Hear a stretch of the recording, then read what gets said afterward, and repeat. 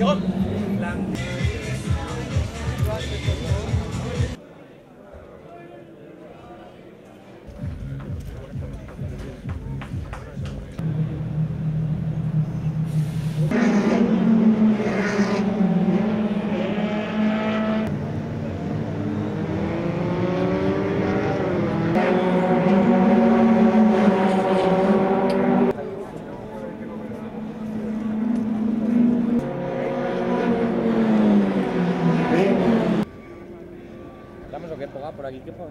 Es muy importante tener fe en los proyectos y es muy importante que en Aragón se hagan proyectos emblemáticos.